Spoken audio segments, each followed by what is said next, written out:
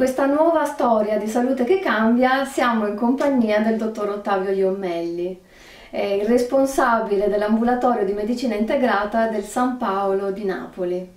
Allora chiediamo al dottore come è nata questo amore per la medicina tradizionale cinese e come è riuscito a creare questo ambulatorio che è stato uno dei primi su, per il sistema sanitario nazionale. Sì. Diciamo che io come medico sono stato un po' fortunato perché ho iniziato a interessarmi di medicina integrata, in particolare l'agopuntura, già al secondo anno della facoltà di medicina e quindi ho percorso una, una, strada dove si univano già durante la mia formazione medicina classica e medicina integrata, in particolare la medicina tradizionale cinese. Era impossibile pensare a dei trattamenti di agopuntura che arrivano oggi 10 sedute, 400 euro più 100-150 la visita, insomma non è fattibile per molte persone. Allora il mio sogno era quello di eh, permettere a queste persone di usufruire, di eh, praticare agopuntura anche in ambienti pubblici, per cui eh, quando ho vinto il concorso, già nel 91 ho iniziato a lavorare, a gettare le basi per eh, creare un ambulatorio di agopuntura, nel 92 è partito e quindi da allora poi man mano siamo cresciuti, eh, siamo diventati anche una struttura semplice dipartimentale, poi per il risparmio sulla sanità e su tutto eh, ce l'hanno chiusa, però noi chiaramente abbiamo cercato sempre di lottare, veramente dal 92 c'è stata sempre questa battaglia, questa lotta, perché ogni tanto che veniva un nuovo direttore sanitario, un nuovo direttore generale, hanno sempre tentato di chiudere, quindi una volta i pazienti si incatenavano, una volta lo facevo io, una volta si facevano gli scioperi della fame, recentemente ho fatto lo sciopero del sangue e insomma siamo ancora qua eh, a erogare prestazioni di medicina integrata, agopuntura e fitoterapia in ambiente pubblico. Ma secondo te perché eh, c'è questa o non consapevolezza, non interesse o un'ostilità, secondo te? All'inizio diciamo, c'erano poche mm, eh, possibilità scientifiche di manifestare l'efficacia dell'ambulatorio di agopuntura, per cui posso anche capire all'inizio c'erano poche ricerche, eccetera. Oggi invece eh, su, è stata riconosciuta dal National Institute of Health, la massima autorità scientifica mondiale, però nonostante questo c'è sempre in alcuni colleghi un po' di scetticismo, ma è legato più all'ignoranza, al nuovo, diciamo, perché poi oramai eh, ci sono i master universitari di agopuntura, anche noi ne facciamo uno con la Federico II, master in agopuntura e fitoterapia.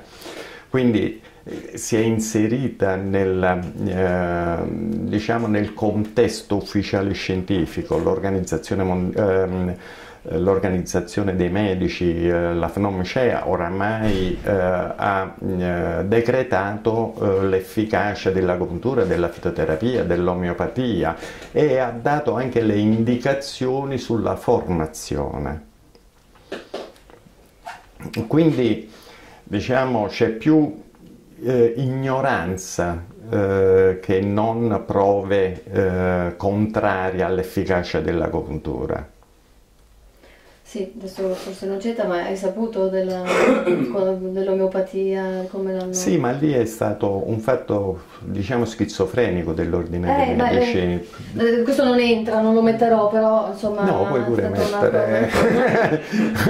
lì è stato un fatto eh, schizofrenico perché praticamente eh, c'è stato un non controllo da parte dell'ordine dei medici su questi esponenti che hanno fatto queste dichiarazioni perché ehm, la parte ufficiale dell'Ordine dei Medici ha decretato diciamo, ehm, che l'agopuntura, la fitoterapia, l'omeopatia, l'omotossicologia ehm, e eh, la medicina antroposofica sono realtà e tecniche mediche e bisogna rifarsi eh, a eh, un decreto legislativo Stato-Regione per la formazione dei medici.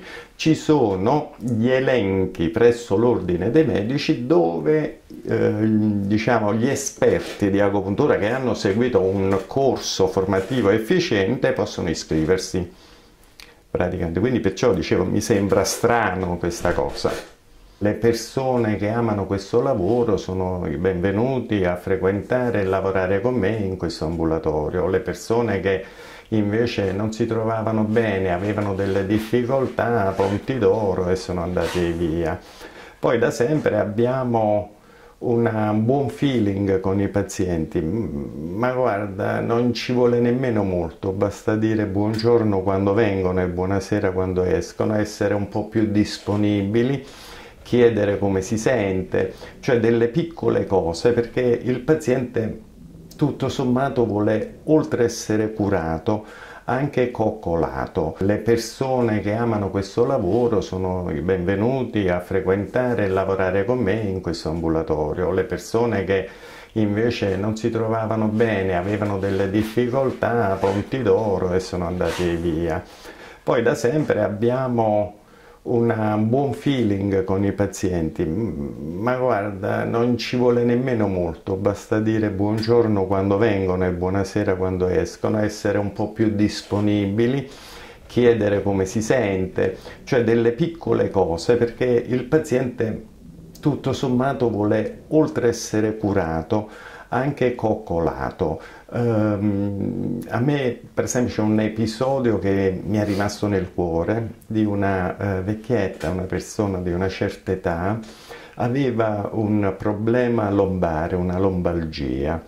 Uh, ha fatto l'agopuntura e io ho pensato di fargli fare da un, un, operatore Twin una signora che frequenta l'ambulatorio eh, come collaboratore di fare un massaggio. Dopo questo massaggio la persona quasi eh, piangendo diceva che eh, è stata benissimo e che il massaggio è stato eh, stupendo e non è stata mai massaggiata da nessuno, nemmeno dal marito. Per cui eh, per me mi ha riempito il cuore questa cosa, per cui ti dà forza per continuare avanti su questo discorso e quindi vuol dire che stiamo lavorando bene, insomma. Eh, poi ho curato un po' l'ambiente, eh, ho pensato io qua ci devo stare più di 10 ore al giorno, allora voglio vivere in un ambiente più piacevole, diciamo. E quindi ho incominciato a comprare quadri, ho incominciato a mettere su pelletti, cose, eccetera, in modo tale da creare un ambiente un po' più confortevole anche per chi lo frequenta come paziente, come persona.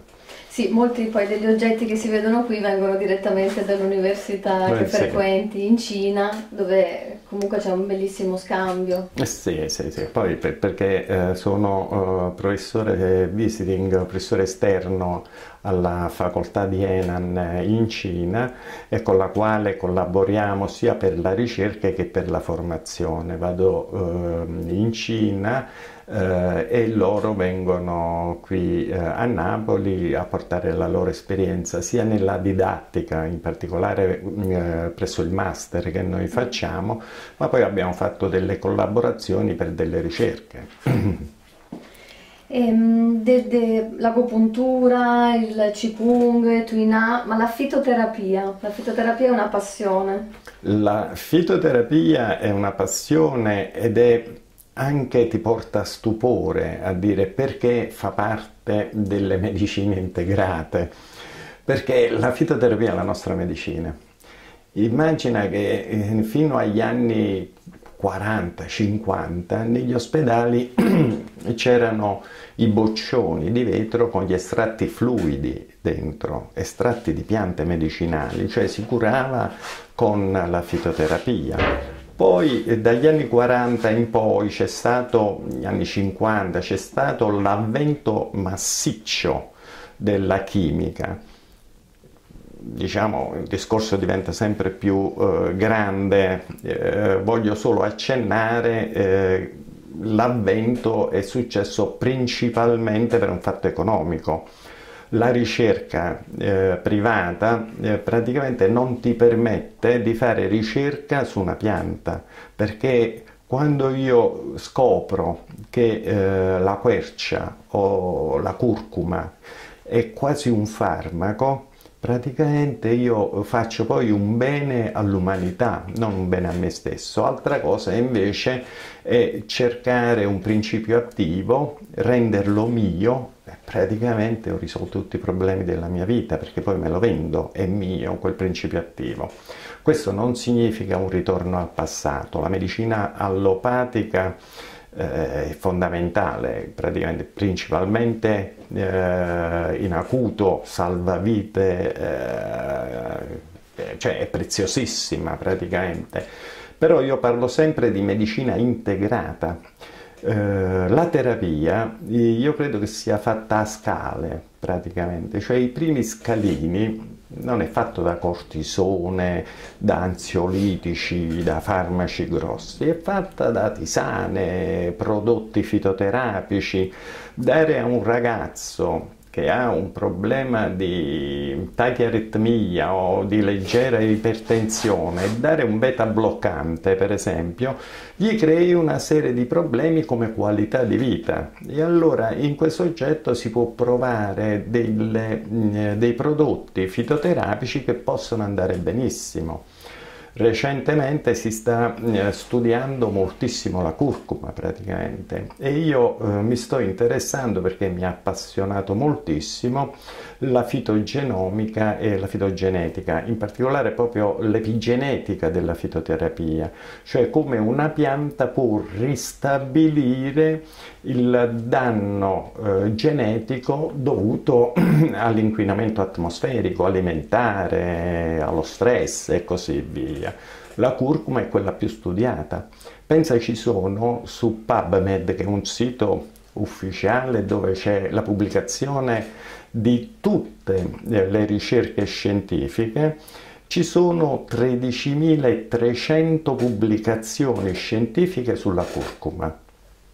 Io credo che non ci sia nessun farmaco che abbia tante pubblicazioni scientifiche, eppure ancora adesso se tu parli con qualche collega dice eh, ma che devi fare queste cazzate? Eccetera eccetera.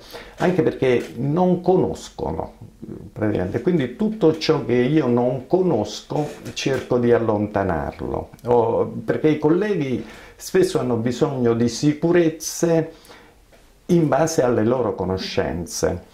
Poi c'è anche l'abitudine.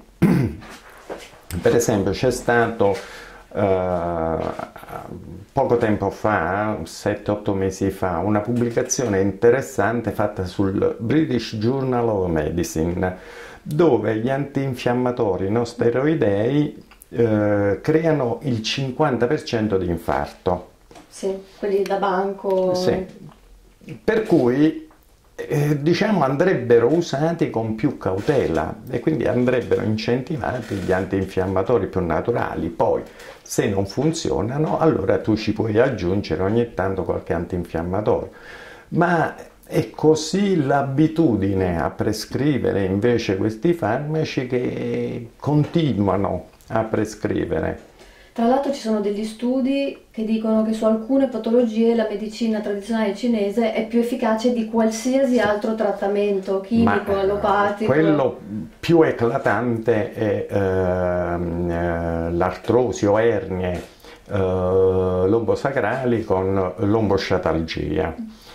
Eh, oramai è accertato con tutta una serie di pubblicazioni che in questi casi il cortisone non serve anche eh, famosi ortopedici nazionali sulla RAI praticamente sono stati intervistati e hanno detto effettivamente eh, il cortisone in questi casi non funziona. Ci sono poi dei grossi studi fatti eh, sia da um, università americane che da università inglesi con grossi numeri dove ti dicono guarda che l'agopuntura ha la maggiore efficacia rispetto a tutte le altre forme eh, e tecniche terapeutiche. Quindi andrebbe incentivata su questi aspetti ma non solo, oramai per esempio da noi abbiamo creato quasi una sezione per la sterilità e infertilità, mm. perché ci sono stati sempre qui dei lavori fatti dagli americani e australiani dove l'integrazione eh, con l'agopuntura migliora nettamente il risultato della FIVET, della fecondazione eh, artificiale, per cui ci stanno numerose richieste, quindi praticamente stiamo verificando l'efficacia effettivamente ehm, aumenta moltissimo eh, la capacità poi di rimanere incinta. E come ti mh, rapporti con i protocolli? Diciamo... Questo è l'aspetto più bello della medicina integrata e eh, su questo ci invidiano invece i colleghi perché eh, si ritorna a come dovrebbe essere la medicina. La medicina non è scientifica, partiamo da questo presupposto. Ci devono essere dei dati praticamente però è fatta di intuizioni, di chiaroscuri, di interpretazioni, di piccole cose, eh, per cui eh, di personalizzazione. E quindi praticamente chi fa medicina integrata sa che la visita deve essere olistica, cioè devi capire anche in che contesto sociale, economico, politico tu vivi per cercare poi di risolvere quel problema non basta solo ho l'ulcera, prenditi l'omeoprazolo. No, devi capire perché. In medicina integrata, in particolare in medicina tradizionale cinese, quello che ci chiediamo sempre è perché. E all'Università di Henan invece ho imparato un'altra cosa, un'altra parola, dipende, perché qualsiasi domanda che io gli facevo, loro rispondono sempre dipende, dipende appunto dal contesto, dalle cose. Non puoi generalizzare il trattamento.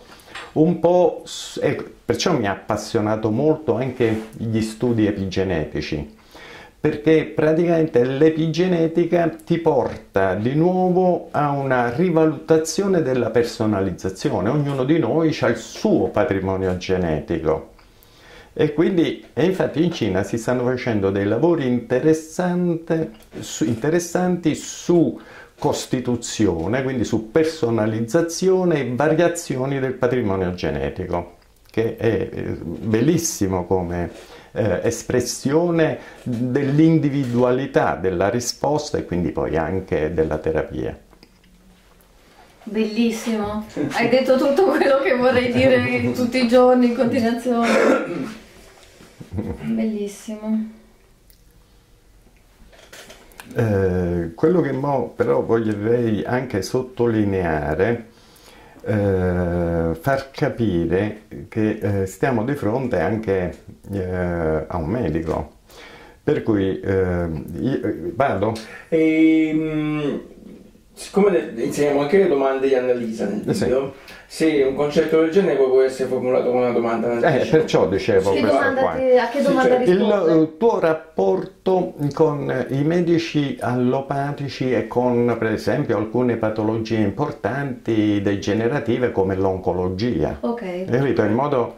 Eh, che sennò ci pensano che noi siamo fusi, eh, sicuro tumore, eh, no, cioè, cioè, eh. Eh, che rapporto hai con i tuoi colleghi allopatici in patologie cronico-degenerative, anche gravi come l'oncologia? Uh, questa, come eh, quelle oncologiche. sì, ed è, è importante questo aspetto per chi si interessa di medicina integrata. Cioè non bisogna pensare di stare di fronte a uno stregone, uno sciamano, ma stai sempre di fronte a un medico e capisce i limiti poi della medicina integrata. Un'asma violenta praticamente e la persona rischia, in quel caso deve prendere il cortisone. Mi è capitato una ragazza lei parlava e io pensavo dove fare l'emocromo perché era venuta bianca come un foglio di carta con una rettocolite ulcerosa. Quindi praticamente per, si curava con l'omeopatia, però eh, perdeva continuamente sangue, quindi stava in un soggetto anemico, sono riuscito a fargli l'emocroma, l'ho bloccato, ho chiamato la mamma e, e l'abbiamo ricoverato in ospedale, ha fatto la trasfusione, chiaramente con tutta una serie di problematiche perché lei si innervosiva con me che io avevo fatto tutte queste cose, però con calma gli ho spiegato che la medicina è una sola in quel momento lei aveva bisogno di un trattamento violento, ora invece prende curcuma, eh, un cariatomentosa e abbiamo abbandonato tutti i farmaci allopatici, ma in quel momento aveva bisogno di questi trattamenti. Ma quindi trovi che mh, i pazienti che vengono qui eh, siano cambiati nel corso un po' del, degli ultimi anni, che vogliano di più abbiano le idee più chiare oppure... Mm, scusami, sì. non l'ho detta bene. Sì, sì. Scusami. Si capisce? Cioè la taglio l'ultimo pezzo o la ridico? Ehm, la ridico. io la ridirei sì. con, riformulando, credi, come sono cambiati i pazienti? Sì, esatto. L'approccio, dei pazienti. No, l'approccio, se l'approccio è cambiato. Sì. Ehm, nel corso de, de, di questa esperienza, com'è cambiato l'approccio de, delle persone che vengono qui? Allora, guarda, eh, dagli inizi proprio, diciamo, rispetto agli eh, anni 93-94 c'è stato un grosso cambiamento.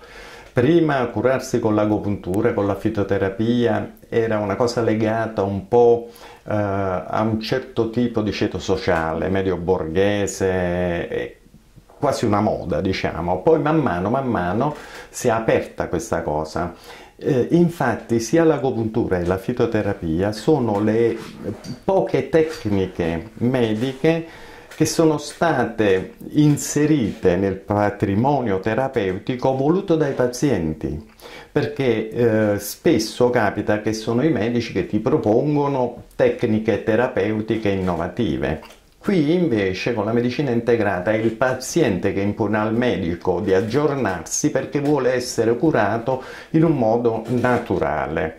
Non vogliono capire nemmeno il meccanismo d'azione. Vengono queste persone, queste eh, vecchiette che mm, eh, ti dicevo prima, no? con i loro problemi di artrosi, ansia e disturbi vari, loro vogliono stare bene, se ne fregano come funziona, che cos'è, da dove viene, eccetera, eccetera. Loro vengono, hanno l'artrosi al ginocchio, non vogliono stare bene, se possibile, senza prendere un antinfiammatorio di sintesi, perché hanno capito che meno lo prendono, meglio stanno. E quindi l'approccio è diventato più ehm, pratico praticamente. Chiaramente però eh, diventa sempre una cosa eh, costosa se non lo eh, facessero in ambiente pubblico, cioè sono eh, pazienti questi che non andrebbero mai in un ambulatorio pubblico, in un ambulatorio privato, perché non sta alla loro portata. Ma poi L'altro aspetto fondamentale, quello che io ho cercato eh, di eh, comunicare ai politici praticamente, che eh, con la medicina integrata, con l'agopuntura e la fitoterapia, eh, la sanità risparmia milioni di euro praticamente. Per fare agopuntura serve un lettino, una scrivania e gli aghi.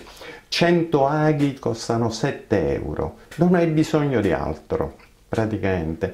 Quindi eh, si risparmierebbero un sacco di approcci eh, farmacologici che praticamente sono a carico di noi cittadini poi alla fine. Invece in questo modo qua è rarissimo che il soggetto che fa agopuntura poi assume farmaci allopatici.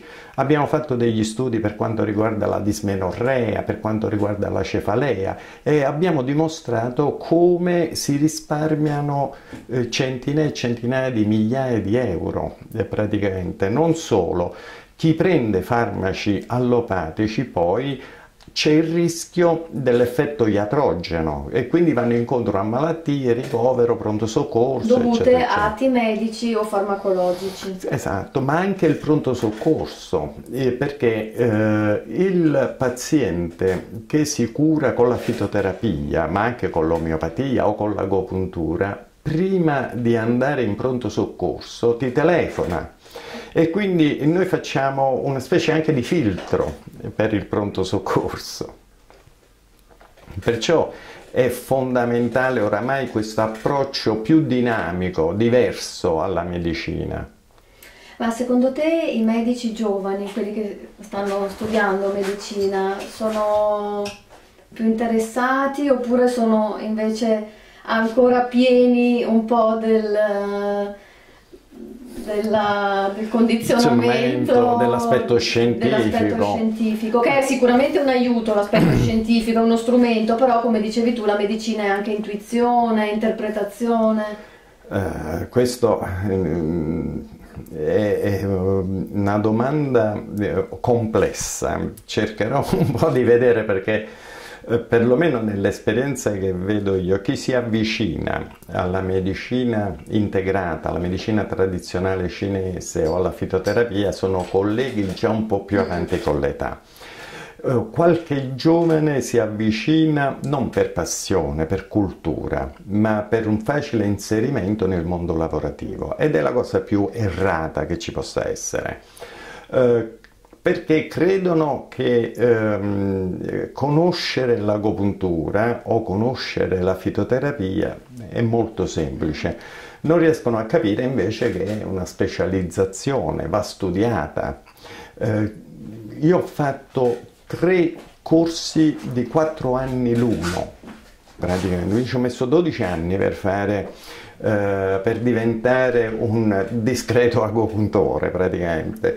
Devi studiare, devi studiare storia e filosofia di quel popolo per capirlo, per cercare di capire dietro a un ago e a un punto che c'è. La stessa cosa della fitoterapia. Che tipo di preparazione galenica, quali principi attivi puoi utilizzare, gli effetti collaterali, il sinergismo, l'antagonismo. Non è facile ma eh, è oramai opportuno che tanti medici eh, incominciano a interessarsi di fitoterapia perché è così diffusa oramai che quando arriva un paziente, per esempio, che deve fare un intervento e prende delle piante medicinali, il collega chirurgo non sa poi che pesci prendere. Dice lo puoi prendere, non lo puoi prendere. La cosa più semplice è dire vabbè, non prende niente. Invece, conoscendo quella pianta, lui capisce anche l'integrazione. Per esempio, se io prendo dei sedativi di piante eh, che, eh, antistress, eh, sedative, è chiaro che se devo fare un intervento può interferire e quindi ampliare l'effetto dell'anestesia e quindi non lo fai prendere. La stessa cosa se io prendo dei tonici, il cordyceps, il ginseng, eccetera, è chiaro che un giorno, due giorni prima dell'intervento cerco di evitare perché sennò ci vuole più anestetico. E quindi però il collega anestesista, chirurgo, la stessa cosa, il cardiologo, dovrebbe conoscere perlomeno quelle piante più comuni e questo, per questo motivo noi ogni tanto organizziamo qui eh, in ambulatorio degli aggiornamenti proprio su alcune piante eh, per eh, divulgare eh, gli effetti collaterali ma anche la sinergia tra piante e prodotti di sintesi.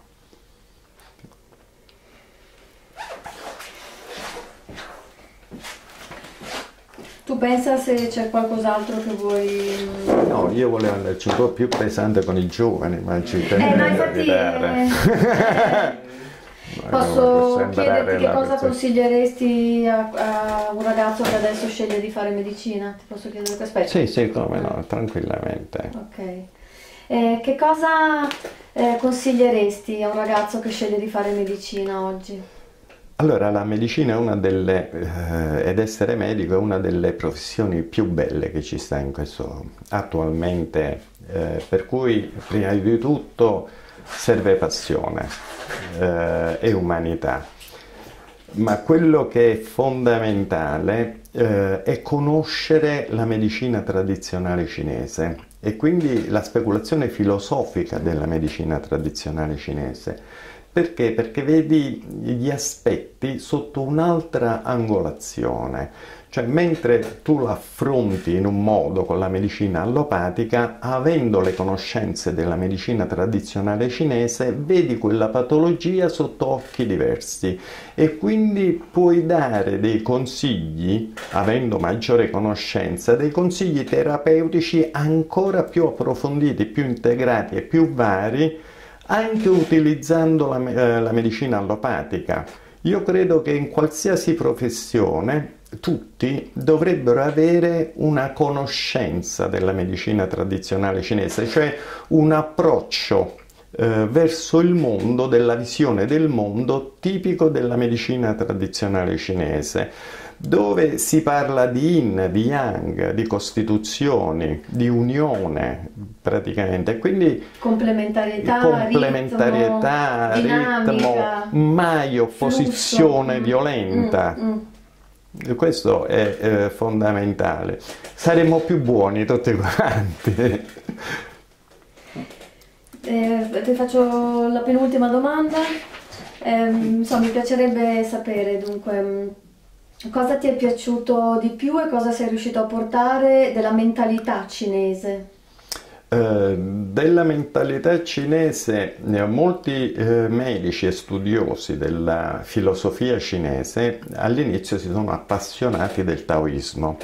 È un aspetto bellissimo, diciamo, no? l'integrazione con la natura, mm, tutti questi aspetti eh, enormemente energetici e olistici per cui mi sono appassionato anche io, ma la medicina cinese non è solo taoismo, è taoismo e confucianesimo, il rispetto delle regole, il rispetto dell'organizzazione sociale, familiare, il rispetto del lavoro, il rispetto del superiore, il rispetto delle cose. Eh, e quindi eh, quello è un altro aspetto fondamentale che noi occidentali invece abbiamo trascurato. Si può anche dire che aiuterebbe molto anche l'idea di non uh, superare dei limiti della natura, dell'ambiente, della nostra natura interiore, interna, sì, sì. Cioè, le regole della natura. Eh. L'uomo è in simbiosi con la natura, non può opporsi o cambiarla, ma deve vivere insieme alla natura seguendo il flusso naturale delle cose. Um, non serve la forza. C'è un passo del uh, Tao Te Ching che io spesso concludo le mie eh, relazioni dove ehm, eh, non ricordo quale capitolo del Tao Te Ching dice che la rigidità appartiene alla morte Invece la duttilità è vita, il bambino è duttile, l'anziano è rigido, albero rigido si spezza, albero flessibile campescintan. Scusami, in napoletano. Eh, ti faccio, se tu poi non ne hai, se ne hai altre, ti faccio l'ultima domanda eh, te la spiego prima, ti chiedo che cos'è Salute che cambia, ovviamente non parliamo del progetto nostro, ma in generale... Eh, Scusa, beh, vai vai. Eh, che cos'è per te Salute che cambia? Aspetta, in eh, che senso?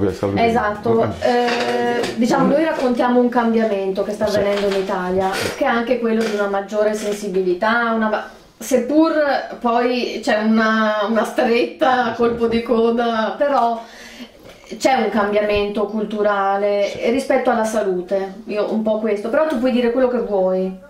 Cioè, cioè Perché... questo concetto di salute che cambia cosa ti fa pensare? Molto libero. Sì, molto libero. Anche oltre l'aspetto professionale. Cioè. Sì, sì. Okay. Eh, che cos'è per te salute che cambia?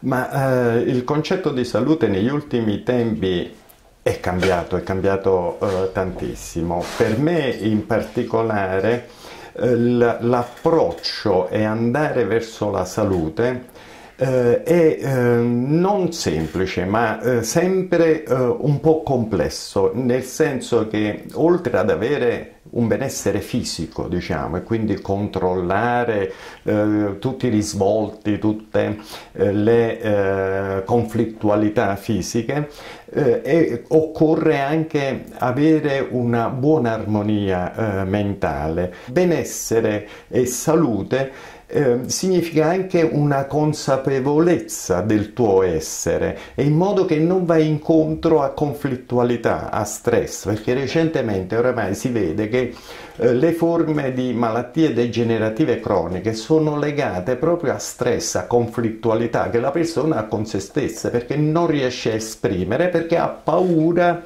di tutta una serie di conflittualità in questo mondo quando tu vai a manifestare te stessa, perché oggi bisogna essere belli, biondi, azzurri, magri, muscolosi, eccetera, eccetera. E invece non è così.